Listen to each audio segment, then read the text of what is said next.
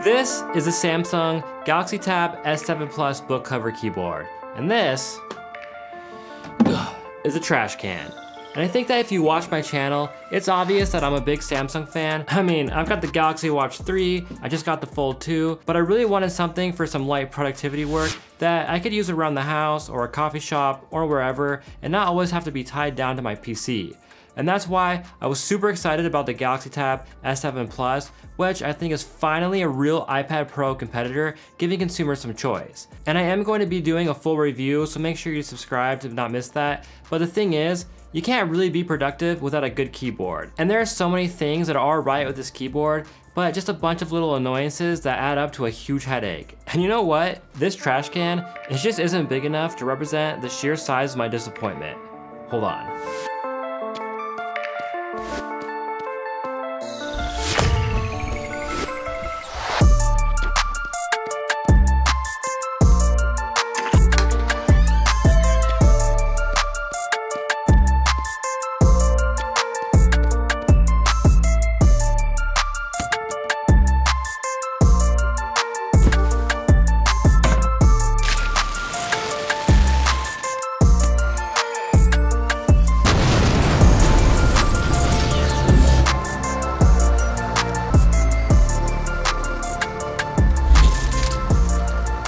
Yo guys, Jake Bacon here, and the book cover keyboard for the Samsung Galaxy Tab S7 and S7 Plus, it's a decent keyboard.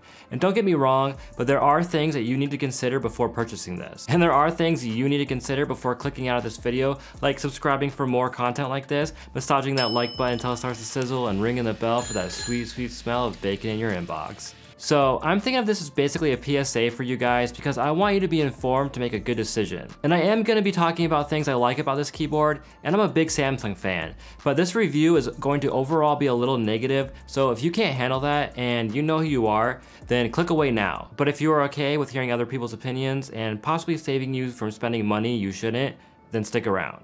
If you didn't get this keyboard on special with a pre-order of the Tab S7, then the Tab S7 model costs 199 and the Tab S7 Plus model costs 229. That's more than most people spend on any keyboard and it's even dangerously close to some high-end mechanical keyboards. So for that price, this needs to be good.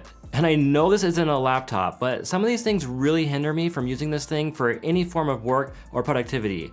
And really, what is the point of basically a $1,000 tablet, not including the keyboard, if you're just going to basically be using it to watch YouTube videos and browse the web? And as I was typing up this review, I'm getting one of the first annoyances. So let's just get into that. I am trying to be productive here, like I'm sure most of you considering this tablet will be. So I've got Word open on one side of the screen and then YouTube and my Notes app, Google Keep on the other side of the screen, just to reference what I wanna talk about. Honestly, pretty cool. But as I'm typing in Word, I then wanna go over to Google Keep and scroll. Well, nope, it for some reason thinks I wanna highlight the words. And then when I click back into Word, depending on where you click, it will either think you wanna scroll or just wanna move the cursor around. It seems that if you click in between the words on either app, it will default to highlighting, and then you need to click outside or in a blank space in order to scroll. But it's frustrating and annoying because any other device from PCs to Macs, that's just not how it works. It will always just scroll, and then if you wanna move your cursor, you just click where you want, and then if you wanna highlight, you click and drag. But that's not the most annoying thing about this keyboard. This could be just a limitation of Android with how this is functioning, but it really just makes me wanna scroll with the touchscreen instead. But I'm someone when I'm in keyboard mode, I just wanna be using the keyboard for everything, and then when I'm in tablet mode, I'll use the touchscreen. I don't really like going back and forth. Also, if you let the device go to sleep and then come back to using it, sometimes the cursor will take upwards of like three seconds to start working again. It might not seem like a big deal, but over time, and when most other devices don't do this, it gets frustrating, but that's not the most annoying thing about this keyboard. Let's get into the trackpad. First, the good stuff. It's not the biggest trackpad in the world, but I think the size is fine. The click and tactility of it, it's good as well, but that's where it ends. For some reason, there is a lot of friction when moving your finger across the trackpad, especially if you put any pressure at all. You can probably actually hear it here.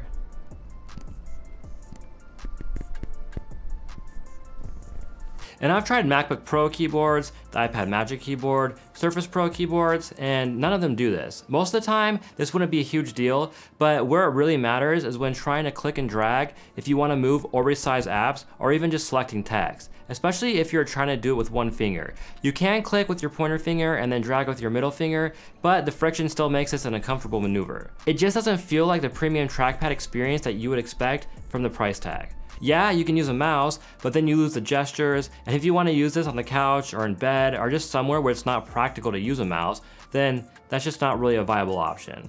But that's not the most annoying thing about this keyboard. When scrolling through web pages, or really any app, it's hard to explain, but hopefully you'll be able to see it in the video, but it kind of hiccups sometimes, or bounces and goes backwards a little bit, so it feels like you have to keep going over the same part twice every so often. It's just not a smooth experience. And you can't customize really anything about this. You can't change how fast it scrolls. The only thing you really can customize is the mouse pointer speed. But that's still not the most annoying thing about this keyboard. There's no backlight on this keyboard, so unless you are in a decently lit area, it's really hard to see. So forget about using it at night with no lights or possibly even a dimly lit coffee shop. I was even using it recently in my room with window light coming in, and as soon as it hit 7 p.m. and got dark outside, I had to get up and turn on the light. Hey, I know that makes me sound lazy and maybe it's not the biggest deal to some of you, but at this price point, this really should have a backlight. Sometimes the light from the screen helps with this, but in most situations, it just won't help. Now, if you're used to typical laptop or desktop functionality, like using the spacebar to pause videos, this doesn't do that, and you can't use the enter key to send messages. It's nice when you just want to go down a line, but then when you want to send, you have to either click or tap on the send button. However, I did finally figure out that it works if you press tab plus enter. The Tab S7 Plus model does have a function row, and you can use it to open the app drawer, change volume up and down, change the brightness, turn on and off DeX mode, and open settings, etc. But you have to press the FN key first to use any of those functions. I much, much rather have those just work and then use the function key to use the F1, F2, F3, because I hardly ever use those. But again, of course, you can't customize this. But that's still not the most annoying thing about this keyboard. So what about the lapability? Oh man, the lapability. There's not much to say here.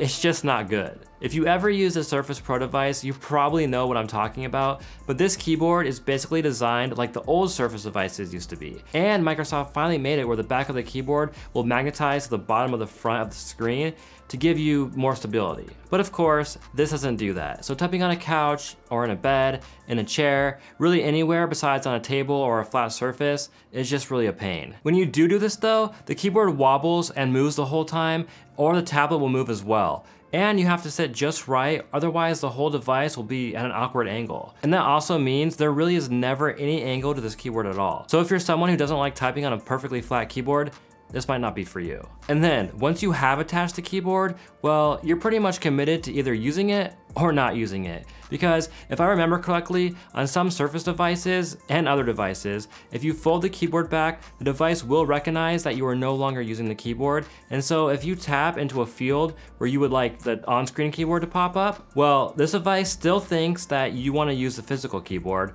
so nothing will happen. This becomes annoying when you want to fold the keyboard under the kickstand for added stability when drawing, writing, or editing photos. I did figure out though that if you do fold the keyboard all the way back, then it will work as intended, but if you want to use it in the other mode I just mentioned, then it won't work. The best option is just to actually remove the keyboard, but then where do you put it? Again, if you aren't using this on a desk or somewhere convenient, you probably won't really have anywhere to put the keyboard. But that's still not the most annoying thing about this keyboard. I found an issue yesterday where if you close the keyboard cover while the tablet is at an angle, the weight of the keyboard makes it so it falls down a little bit. The reason why this is important is because usually when you close the keyboard cover and how it is designed is it will immediately lock and turn off the screen. Well, when it doesn't close correctly, this functionality doesn't work, so it's basically just takes a little bit to turn off. The same as it would if you just left the device there without closing the keyboard at all. Another mild annoyance, but again, for this price, it should have been designed better. And then while I was using the keyboard for the past few days before getting this review out, I had another annoyance come up where if you remove the keyboard, there's a glitch where the on-screen keyboard still won't come up no matter what you do, unless you just completely power off the device and then restart it. It's happened a few times since then, so frustrating. Now, I do really like the typing experience on this keyboard. The keys have a decent amount of travel and they don't feel very mushy or anything like you might expect from a keyboard this slim. That is definitely the most satisfying part of this keyboard. So then what is the most annoying thing about this keyboard? The most annoying thing about this keyboard is that it should not be having these issues for the price that it costs especially because the better Surface Pro keyboards are almost half the price. And then there's the fact that I really like this tablet. It's a great machine, but without a good keyboard, it just limits its use so much it makes me really wonder if it's worth it. Because again, this is an expensive tablet to not be able to use for productivity. Not to mention the fact that this really is the only keyboard option there is right now, and I don't know if there will be any other options. I'm gonna be spending more time with it, and I will be doing a full review of the Tab S7 Plus very soon, so hopefully these are issues I might be able to overcome, because I do really want to like this device. Alright, so I hope you guys found this useful and it gave you some things to consider before making a big purchase like this. Make sure to like the video if you liked it, it really helps me out with the YouTube algorithm, and subscribe for more, and always remember, in bacon we trust.